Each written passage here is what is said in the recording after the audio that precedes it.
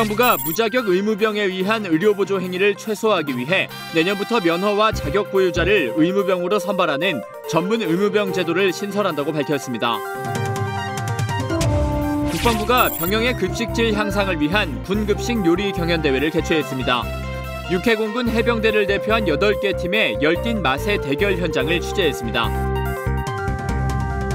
우리나라 첨단 항공우주 산업 발전의 길을 모색하기 위한 토론회가 열렸습니다.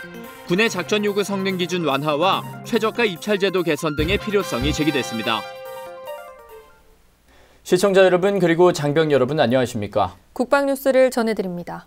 국방부와 병무청이 무자격 의무병에 의한 의료 보조 행위를 최소화하기 위해 내년부터 전문 의무병 제도를 신설합니다. 전문 의무병은 군병원과 사단급 의무부대에서 면허나 자격증이 필요한 업무를 수행하게 됩니다. 오상현 기자의 보도입니다. 피를 뽑고 물리치료를 하고 사회에서는 임상병리사나 물리치료사 등 자격증이나 면허가 있는 사람만이 수행할 수 있는 의료 보조 행위입니다. 하지만 지금까지 군에서는 예산과 인력 부족을 이유로 이들 의료 보조 행위를 자격이 없는 의무병이 수행해 왔습니다. 국방부와 병무청이 이런 문제점을 해결하기 위해 전문 의무병 제도를 신설하기로 했습니다. 간호와 약제, 임상병리, 방사선 촬영, 치위생, 물리치료 등 6개 전문 분야의 관련 학과를 졸업하거나 면허를 취득한 사람이 모집 대상입니다. 하지만 관련 학과 졸업자나 면허 취득자가 이미 전역한 사람이 많다는 점을 감안해 향후 1, 2년간은 인원이 부족할 경우 전공학과 재학생에게도 자격을 부여할 예정입니다. 전문 의무병으로 선발되면 사단급 이상 의무부대나 군병원에서 근무하게 되며 복무 중 의무부사관으로 지원할 경우 우대 혜택을 받을 수 있습니다. 전문 의무병 제도가 시행되면 면허가 없는 일반 의무병은 체온과 혈압을 재거나 기구를 소독하는 등 단순 보조 행위만 수행할 예정입니다. 전문 의무병의 선발은 내년 2월 병무청에서 모집 인원 등을 공고하고 4월에 선발을 시작해 5월부터는 매달 입영하도록 추진할 계획입니다. 국방뉴스 오상현입니다. 우리 용사들이 22일 국방부가 주최한 군 급식 요리 경연 대회에서 맛의 대결을 마음껏 펼쳤습니다. 육군과 공군, 해병대에서 총 8개 팀이 참가한 이날 대회에서 최고의 요리왕은 과연 어느 팀이 됐을까요? 강경일 상사와 함께 알아보겠습니다. 양파를 써는 손이 쉴 새 없이 움직입니다. 이어 프라이팬에 표고버섯이 노릇노릇 튀겨지고 불꽃과 함께 순식간에 재료들이 익어가자 드디어 맛있는 요리가 완성됩니다. 국방부가 주최한 2016 군 급식 요리 경연대회 현장. 12년 이래 올해 다섯 번째인 이번 대회는 참신하고 다양한 군대 요리를 발굴하고 요리사를 꿈꾸는 병사들에게 자기 개발의 기회를 제공하기 위해 대회는 고기를 이용한 자유 요리와 실제 군에서 급식되는 요리 중 한 가지를 정한 지정 메뉴 요리로 맛의 대결을 펼쳤습니다. 민간 전문가와 어머니 급식 모니터링 요원 등 13명의 심사위원들이 맛과 영양, 독창성, 단체 급식의 적합성 등을 종합적으로 심사해 요리왕을 선정했습니다. 각 군에서 선발된 8개 팀이 그동안 갈고 닦은 실력을 유감없이 발휘한 결과 심사위원들의 입맛을 사로잡은 최고의 요리왕은 무드 있는 오징어를 만든 공군 20전투 비행단 독한 남자들 팀이 차지했습니다. 저희의 장장 한 9개, 9월부터 시작돼서 노력이 이 성과를 이뤄낸 것 같습니다. 심사 기준 중 하나였던 군에 바로 적용될 수 있는 레시피와 그리고 기존에 있었던 저염식과 건강한 식단을 잘 활용했다고 생각합니다. 한편 이번 경연대회 출품한 요리들은 앞으로 실제 군 급식 메뉴로 활용하게 될 예정입니다. 훌륭한 셰프의 버금가는 실력으로 미래의 요리왕을 꿈꾸는 우리의 자랑스런 용사들이 있기에 풍부한 맛으로 가득 찬 병영 식당의 급식을 기대해 봅니다. 북한 남자들 화이팅! 대한민국 공군 화이팅! 국방뉴스 강경일입니다.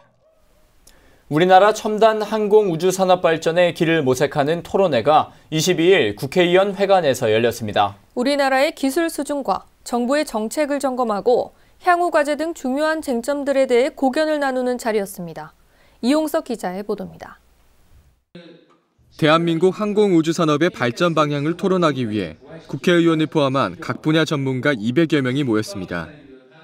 새누리당 김규환 의원 주최로 열린 이번 토론회는 항공산업을 통한 미래 먹거리 창출을 위해 중장기적 로드맵을 발표하고 의견을 수렴하기 위해 마련됐습니다. 발제를 맡은 한국과학기술기획평가원 나승혁 연구위원은 항공우주산업의 미래를 위한 도약 전략을 주제로 한 발표에서 군의 과도한 작전 요구 성능 ROC 기준을 완화해야 한다고 밝혔습니다. ROC 문제, 요구 성능을 너무 지나치게 우리 현실을 무시하고 잡다 보면 이거는 해외 구매라든가 실패로밖에 돌아갈 수가 없습니다. 우리가 국내 어, 개발 가능한 ROC를 군에서는 이렇게 가급적으로 어, 제정해 주시면 좋겠고요.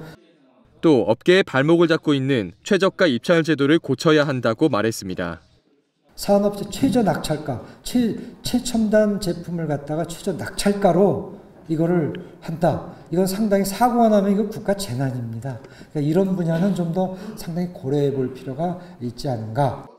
이와 함께 국내 개발 장애와 저해 요소를 제거하기 위해 국내 개발 제품을 우선 구입하는 정책을 주장했습니다.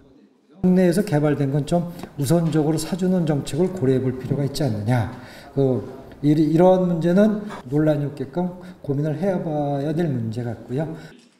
이어진 토론에서는 우리나라 방산 기술이 발전함으로써 선진국의 견제가 들어와 방산 수출과 항공 발전이 지금보다 더 어려워질 거라는 전망이 나왔습니다. 선진국들이 이제 본격적으로 견제할 거라고 예상이 되고 그렇기 때문에 앞으로의 그 방산 수출 그다음에 항공 산업 발전은 지금보다는 훨씬 더 강한 도전에 직면할 것이라고 저는 생각을 합니다. 이날 토론회를 주최한 김규환 의원은 토론회에서 모아진 소중한 의견을 모아 항공 우주 산업의 눈부신 비약을 이룰 수 있도록 지원할 것이라며 우리의 기업이 세계 시장의 수요를 충족시키고 많은 연구자들이 새로운 기술을 개발할 수 있도록 정부의 적극적 지원과 전 국민적 관심이 필요한 때라고 강조했습니다. 국방뉴스 이용석입니다. 미래부에서 주관하는 탑시 정기평가에서 해군의 정보체계 관리단 전산병인 백승근 병장이 전국 1위를 차지했습니다. 탑싯은 정보통신 산업 종사자와 소프트웨어 개발자가 현장 업무를 성공적으로 수행하기 위한 핵심 역량을 진단 평가하는 시험으로 2014년부터 연 2회 정기 평가를 실시하고 있습니다. 기술 비즈니스 통합 영역에서 수행형으로 65문항이 출제되기 때문에 난이도가 높아 이번 시험의 평균 점수는 1000점 만점에 180.1점을 기록했습니다. 이번 평가에서 636점을 획득해 기존의 기록을 갱신한 백병장은 전국 1위 수상의 영광과 함께 내년 초 해외 연수의 기회도 부여받았습니다. 현재 백병장은 해군 전산정보 운영체계의 장애 접수와 처리 임무를 수행하고 있습니다. 서울지방보훈청이 23일 6.25 전쟁과 월남전에서 대한민국과 자유민주주의를 수호했던 호국 영웅을 기리기 위해 참전 유공자 호국 영웅 명비 제막식을 개최했습니다.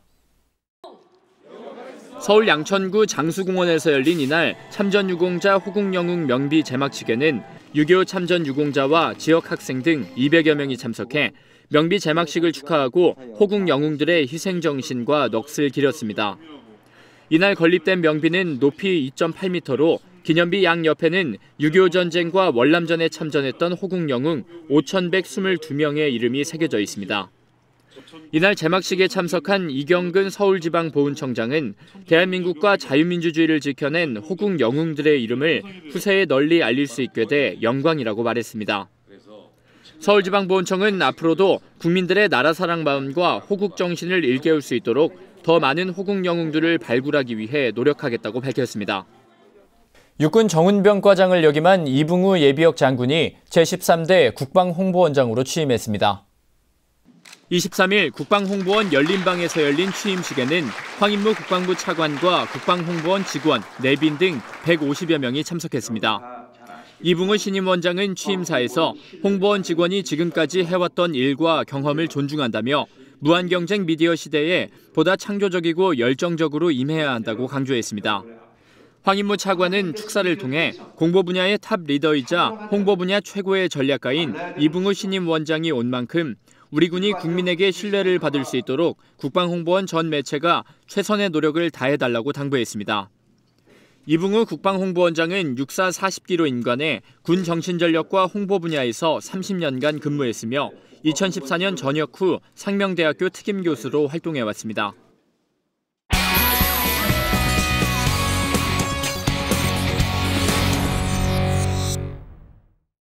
푸틴 러시아 대통령이 지난 15일과 16일 이틀에 걸쳐 일본을 방문하여 러일 정상회담을 가졌습니다.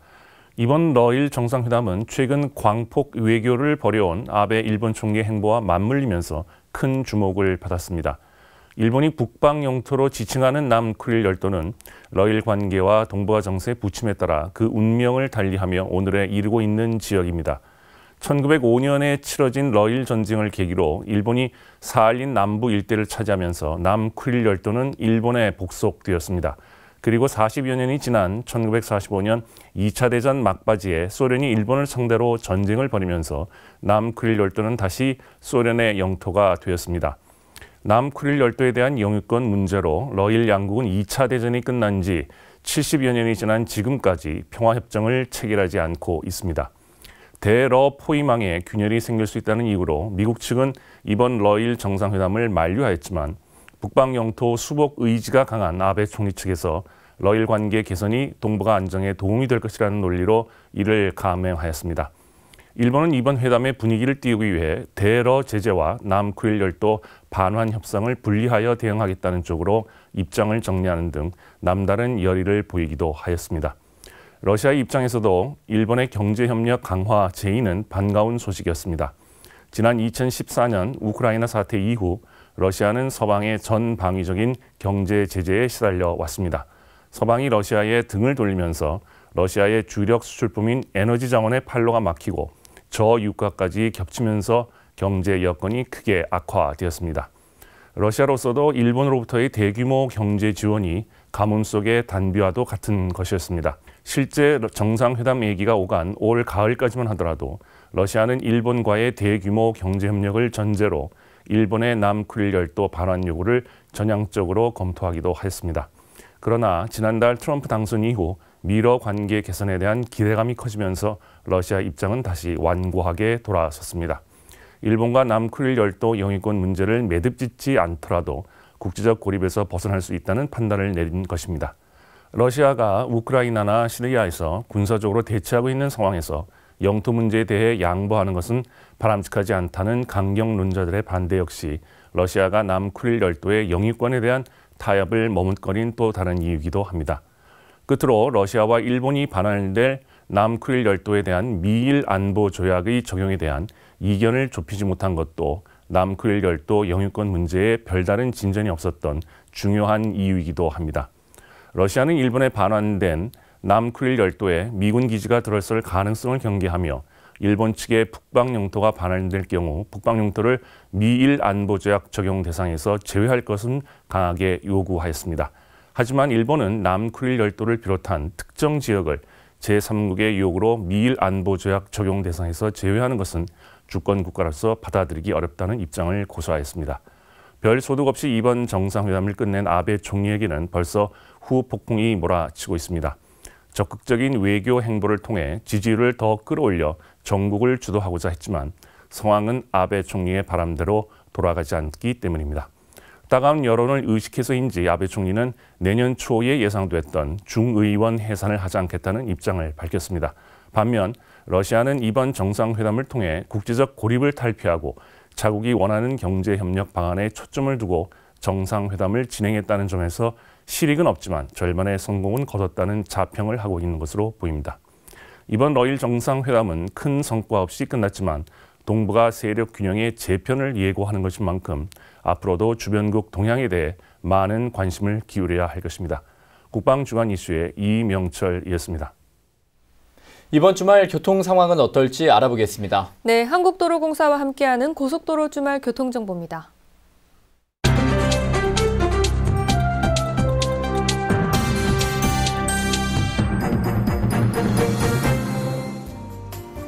연말연시라 술자리가 많아지면서 음주운전의 유혹도 커지는 시기인데요. 요즘 음주운전에 대한 처벌이 굉장히 강화됐죠. 네, 음주운전을 방조하거나 동승한 사람도 형사처벌이 되는데요. 고속으로 달리는 고속도로에서는 음주운전의 피해가 더 큰 만큼 음주운전 절대 하지 마셔야겠습니다. 네, 그럼 이번 주말 고속도로 상황 알아볼까요? 네, 성탄절 연휴지만 고속도로 상황은 큰 정체 없이 평소 주말 수준의 흐름을 보일 것으로 예상됩니다. 네, 토요일 예상되는 최대 소요 시간입니다. 지방 방향으로 정오에서 오후 1시 사이가 가장 혼잡하겠고요. 이때 이동하신다면 서울에서 강릉은 2시간 50분, 부산까지는 일반 차로는 5시간 10분, 버스 전용 차로는 4시간 50분 예상됩니다. 네, 정체 구간은 경부고속도로 천안에서 천안 휴게소 구간 가장 혼잡하겠고요. 중부고속도로는 진천에서 진천 터널 분후군 지나실 때 가장 어렵겠고 영동고속도로는 강릉 방향으로 금포 부근 다소 밀리겠습니다. 네, 일요일 귀경길 예상되는 최대 소요 시간입니다. 강릉에서 서울까지 3시간 10분, 부산에서는 일반 차로는 5시간, 버스 전용 차로는 4시간 40분 정도 걸리겠습니다. 네, 정체 구간은 경부고속도로 청주 분기점에서 옥산, 북천안과 신갈 부근 가장 어렵겠고요. 영동고속도로는 인천 쪽으로 진부 둔내 터널 일대 다소 밀리겠습니다. 서울 양양간 고속도로는 설악에서 서종 15km 구간 정체가 예상됩니다. 터널 안에서의 사고 예방을 위해서 새로운 단속 시스템이 도입됐죠. 네, 터널 안에서 차로 변경을 하면 지능형 CCTV가 차량을 자동 적발하는 시스템인데요. 21일부터 남해고속도로 창원 1터널에서 운행에 들어갔습니다. 네, 기본을 지키는 안전한 성탄절 연휴 보내시고요. 지금까지 국방TV와 한국도로공사가 함께하는 주말 교통예보였습니다. 다음은 국방 게시판입니다. 내년부턴 드론을 띄우는 데 필요한 행정 절차를 홈페이지 한 곳에서 한꺼번에 처리할 수 있게 됩니다. 그동안은 기체 신고와 비행 승인, 항공 촬영 허가 등을 지방항공청과 국토부, 국방부 등에 각각 신청해야 했습니다. 그러나 내년부턴 부처 통합형 온라인 승인 시스템으로 일원화된 행정 서비스를 받을 수 있게 됩니다. 공군이 오는 30일까지 제228기 공군 부사관 후보생을 모집합니다. 만 18세에서 27세의 대한민국 남녀 모두 지원 가능합니다. 인터넷 공군모병센터 홈페이지에서 접수 가능하며 자세한 사항은 공군 홈페이지를 참고하시기 바랍니다. 국군 의무사령부는 오는 30일까지 2017년도 군 전공의 과정 지원자를 선발합니다. 현역 장교와 군 위탁 장학생, 전문사관 대상이며 우편으로 접수 가능합니다. 자세한 사항은 국군 의무사령부 인사계획과로 문의하시기 바랍니다. 해군이 오는 31일까지 해군이라 제8지 본고를 모집합니다. 해군 장병과 군무원, 예비역 대상이며 우편과 이메일로 접수 가능합니다. 자세한 사항은 해군 역사기록관리단으로 문의하시기 바랍니다. 국방부와 병무청이 내년부터 전문 의무병 제도를 신설하기로 했다는 소식 전해드렸습니다. 우리 군은 장병들에게 보다 전문적인 의료 서비스를 제공하기 위해 전문 의무병 제도를 발전시켜 나갈 것입니다. 이번 주말은 성탄절입니다. 따뜻하고 행복한 시간 되시길 바랍니다. 국방뉴스를 마칩니다. 시청해주신 여러분 고맙습니다.